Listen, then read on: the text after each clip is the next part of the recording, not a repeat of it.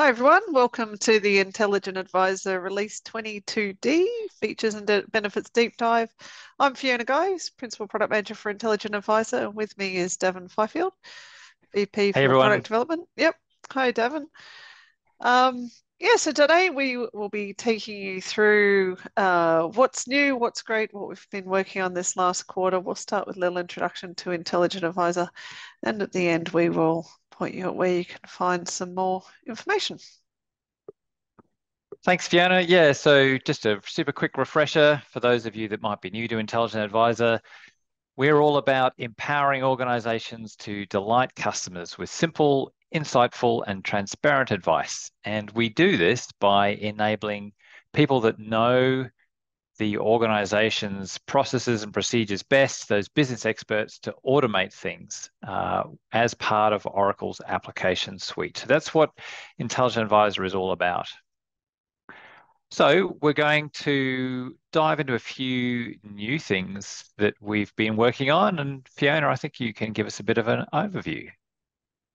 Yeah, so the highlights for this quarter that we really want to pull out for you guys is uh, in three areas. One, improvements to the Oracle integration adapted to support decision services. So those are those web authored rules that you can write directly on your hub.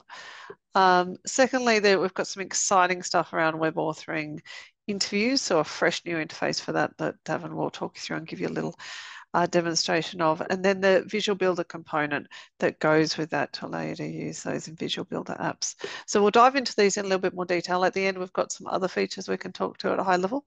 Um, but just to go into these in a little bit more, the uh, Oracle integration adapter enhancement that we've made is to be able to call an intelligent advisor decision service uh, midway through an Oracle um, integration process. So currently that uh, adapter was able to call out to um, use a, a, web service authored in policy modeling or through an call an intelligent advisor interview or authored in policy modeling. Now we can call out to those rules that people are writing directly on the hub. So you've got your business experts logging into your Intelligent Advisor hub, writing out logic on what should happen, for example, to um, a service request that has come in or an issue that's been reported to say, okay, what, how are we going to prioritize that? Um, maybe it's pulling in data from various other places using Oracle integration to know, you know, some bit of background to what's happened here. How are we going to prioritize that? What, what teams are going to go to and what we're going to treat that issue as? Perhaps some resolutions that can be fed back. So this might be an issue that's come in through um, a service desk in some way or through an IoT device directly. But the idea of calculating and, and processing that um, is done today by, by um, many using Oracle integration, but you can now do it with those decision services, um, which gives a really powerful way to kind of isolate some of that decision logic that the business knows. The non-technical folk may know what they want to do and what they want to work with, but they don't necessarily want to put that directly into Oracle integration. So it gives you that nice business-friendly authoring interface with still the constraints in place so that the your business experts are, are working within a controlled environment for updating and and defining that business logic of what should happen at that point in the process. So um, I know Oracle yeah. integration is really popular with many of our partners, so there'll be a nice enhancement for many of those folk.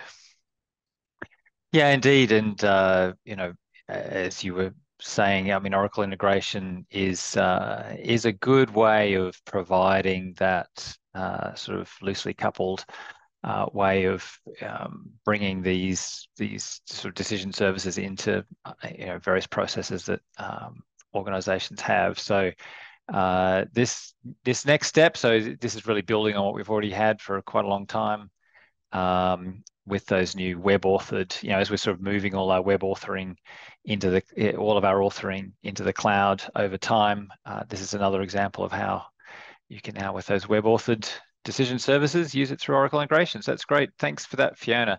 So um, what we're super excited to talk about as well for 22D is you know some of the work we've been doing now for quite a while, uh, sort of continuing on that web authoring vein. Um, so you know decision services they don't have any user interface; they're just all about having some rules, passing some data, and getting some decisions out. Now with the web authoring of custom rendered interviews and decision flows, you can now uh, start to create these sort of end user facing, agent facing experiences in a web authoring fashion as well. So um, again, this is uh, you know, our direction here is to make it so that any business expert with access to a web browser can come in and do the authoring that they need to do to update, uh, you know, business logic as they uh, have a need to, you know, as organizational requirements change, as regulations change, whatever it might be. And without having to have a desktop tool, it really sort of democratizes the capabilities here. So what we're talking about here is, um, you know, similar to how policy modeling works today, where you can define a layout of a screen and you can have data integrations that will load data and save data to and from connected applications. We've started to build out what that framework is and how it works now. And this is the first version of those capabilities in the cloud. So um, it's just to run through the highlights. You can design those interviews and those decision flows entirely within this browser authoring experience. You can actually also define, uh, and this is something we're really excited about, this idea of schemes. So you can basically set up the palette of things that users will have access to when they're designing these interviews by changing, adding, removing things from the scheme that each interview is created against. And I'll show you how that works when we get into the demo. Um, so this gives you a lot of control over, you know, as it says here, the set of available controls and inputs that you are working with as an author that you let your authors work with. Uh, and for this first release, we've really targeted flexibility and sort of an API first approach. So the idea of um, having uh, API that gives you complete access to everything that this interview engine can do is where we started with our thinking around this. So very much an open architecture that you can work with to deliver any sort of experience that you can imagine, even if we don't happen to have a particular rendering style out of the box with the way we've chosen to give you interviews um, to be shown to, to end users. So, so as I say, you know, the real benefit of this is that you can engage those business experts to work with and maintain these interviews through any web browser by having this all be available um, uh, as a web-based experience. And this sort of curated palette of controls, including actions and data connections that are specific to you and your business. Um, and then to have this whole experience be able to be delivered however you want, whether that's into a mobile application, whether that's into your enterprise portal, whether you're using Angular or whether you're using um, other you know, React or other uh, web-based frameworks. You've got the flexibility with this just to um, get down into the nitty-gritty and, and make it work exactly how you want. So there's a lot lot in that. Um, so I'll give you a bit of a demonstration of how this looks in a version of the Intelligent Advisor Hub that we have up and running. Um, and so what I will show you here is uh, both a project that has a flow in it as well as a flow scheme. So we'll start off with the flow. So you can see there's a few new categories here. Uh, we've you know got the policy modeling, which is the desktop tool authored things. Uh, decision services are the web authored, uh, you know, decision services uh, that we've had now for for uh, several releases. And so now we've got flows and flow schemes. So if we come into this flow here, just to give you a sense of one that we've created earlier, um, and you can see there are, you know, there's a rich set of controls provided here, and you know, uh, sort of familiar sort of layout of section, page group, pages. Um, in fact, let me just briefly go back a moment and just something I skipped over. So the way you create these things, you can now create all of these from directly within the uh, the authoring experience here inside the hub. So if I want to create a flow, I just choose flow. I choose which scheme I want to create it in, which workspace, uh, and similarly, I can create flow schemes.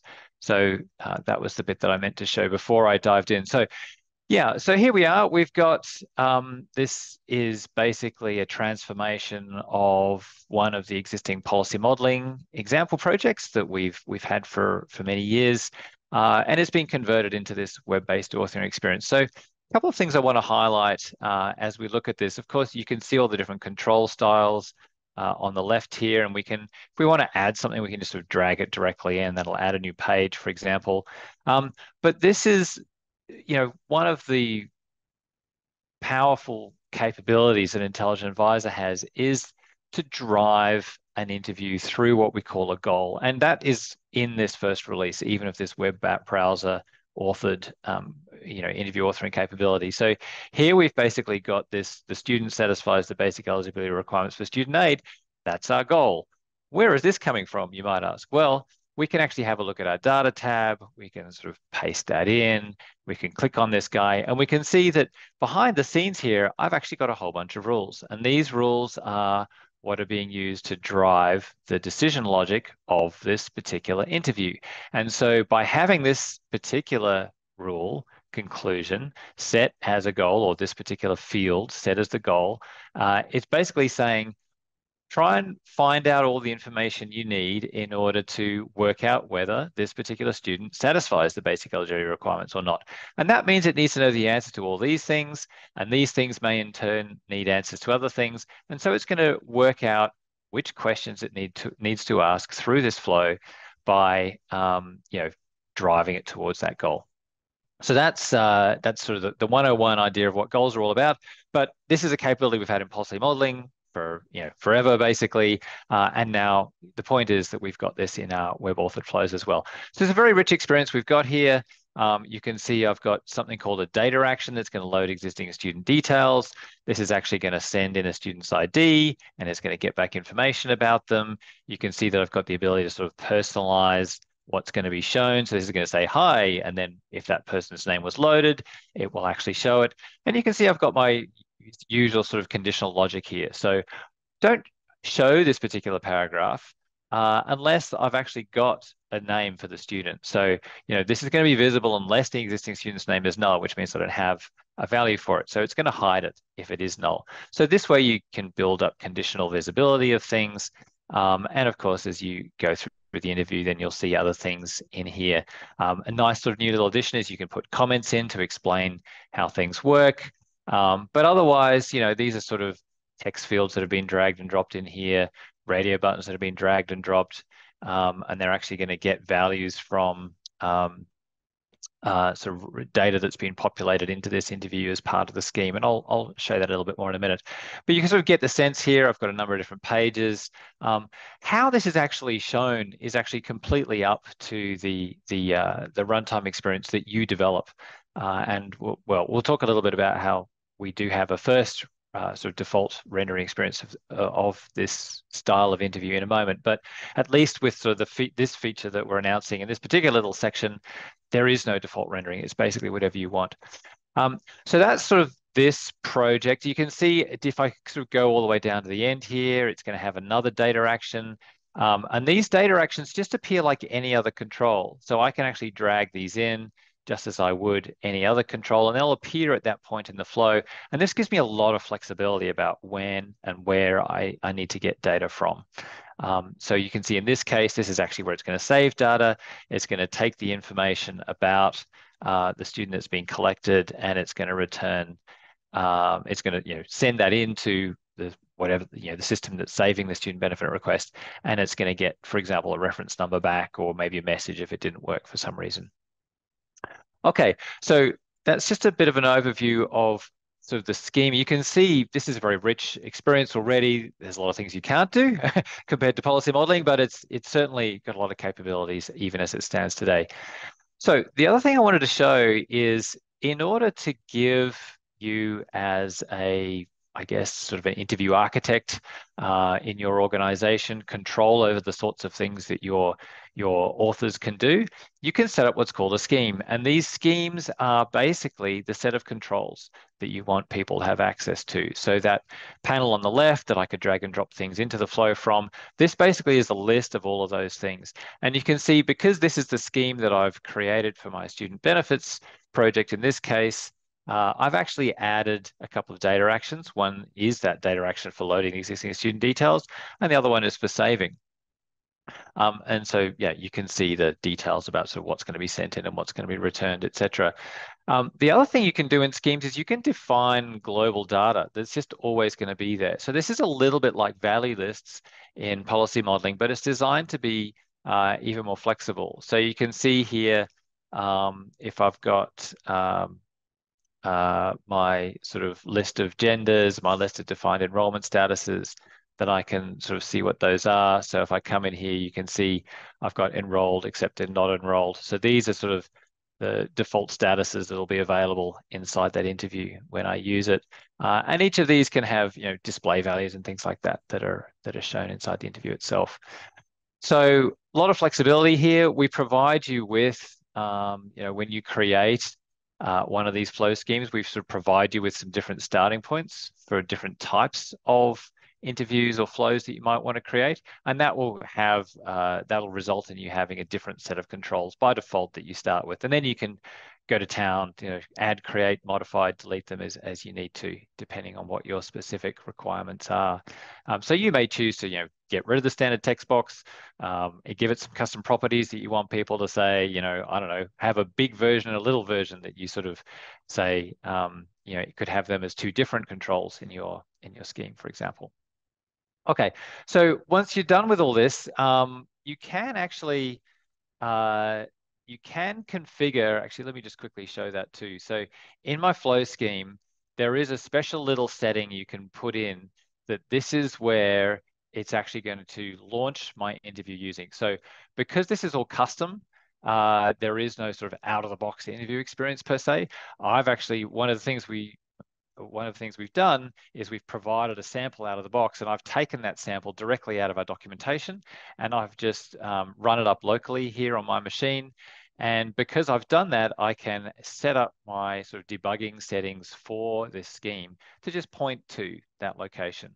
Um, and so that's what I've done here. So now when I go into this flow and I choose to run it, it's actually going to run it using that debugger that I've got set up. And let me just double check something here to check that that's all still running. It Looks like it is. Okay, so if I hit run now, it's actually going to, you can see it's going to launch it at this local address. So again, this is my interview application. This is something that uh, we've provided as a sample, but it's basically whatever you want it to be. So in this case, we've modeled something that's very similar to a standard sort of page at a time interview experience that you might have got through uh, a policy modeling authored interview. So you can see I've got some uh, sort of stage names up the top here. They correspond to the page groups that were created in that flow scheme. But I could have actually chosen not to show them, to show them, you know, in a completely different style. I could show them down the side. I could do whatever I want with those. There's no um, restrictions on how you choose to do that. Um, so yeah, if we just sort of briefly show how this is going to work, uh, you can see if you know my options I can choose. You can see here here the options that I had in my enrollment status. If I sort of click through this a little bit, say I've got four people, $40,000 annual income, so I fall below the, uh, the threshold to get some student aid, click through a couple more screens, and here's my final screen. Uh, before I get to submitting it, uh, you know, with standard sort of formatted information. Um, if I were to go back now, if I were to sort of change some of my student details, if I were to say, I don't know, I'm um, uh, I'm other, or uh, actually maybe if I say if I've got too much money in my income. All right, so then it's going to say, see how it's it's changed the status of these um, uh, stages to, to to no longer be clickable. I can click and go back to these ones, but these ones are uh, are no longer being uh, shown as something I can click on. And that's because it's worked out that those question screens are no longer needed.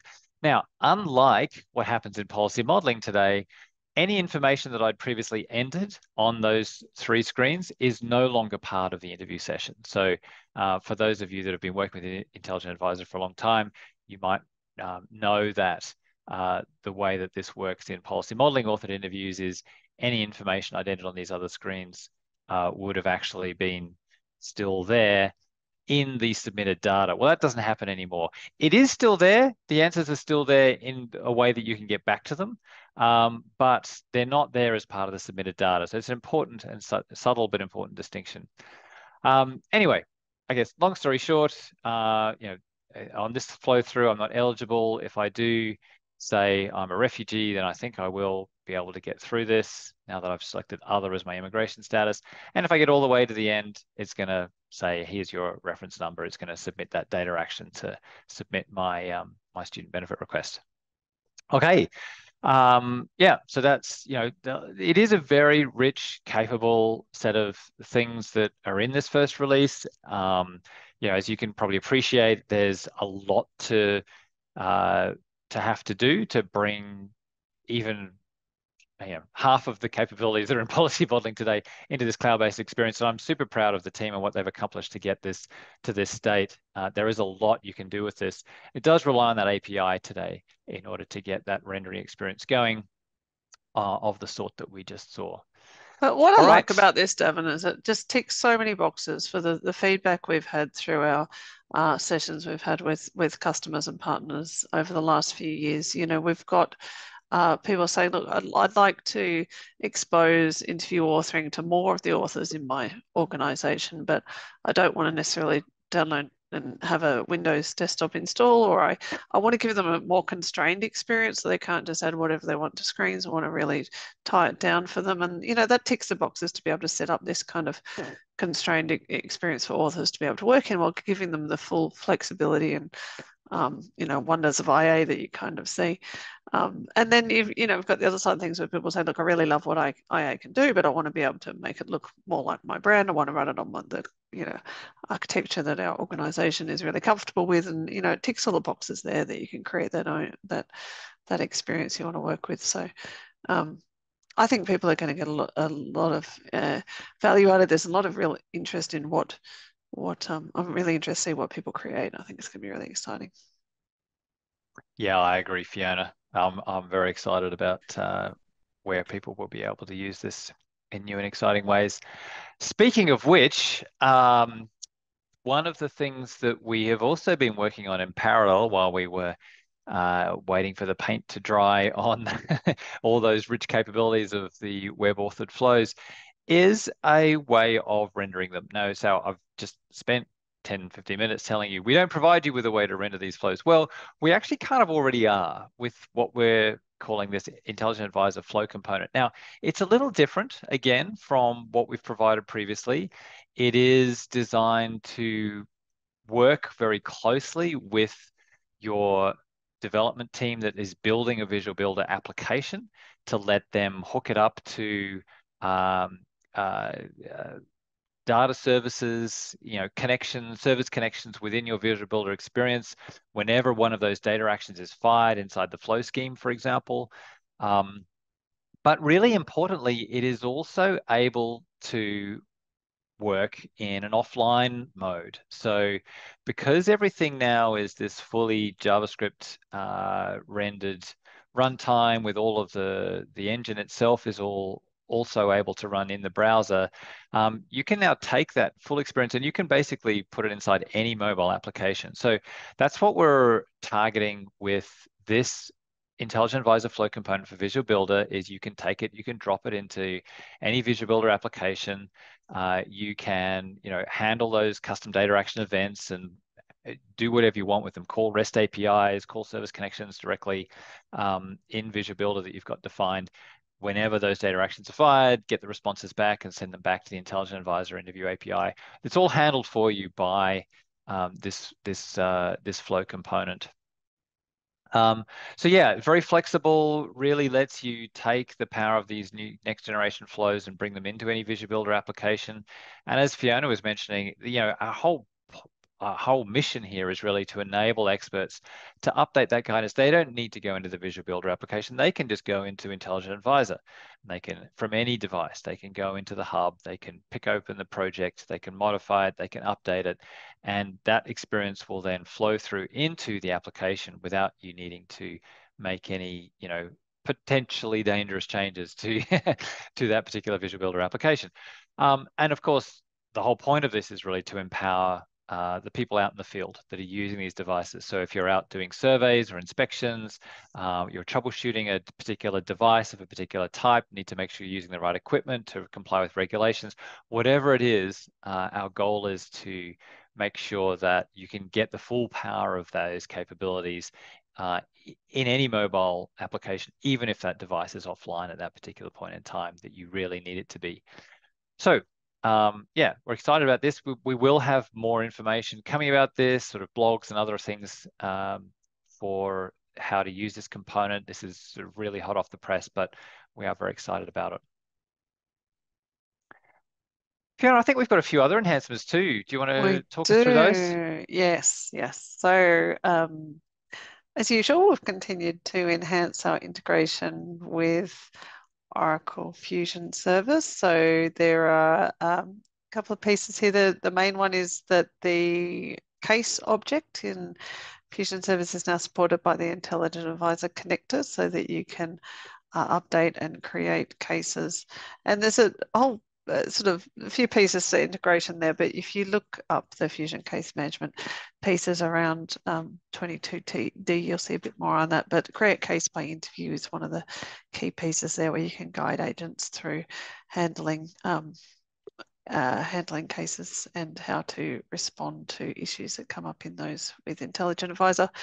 Uh, the next three here were all actually released in monthly updates to 22C, so you'll get them a little bit earlier if your site's updated to that, um, but they were out in this last quarter.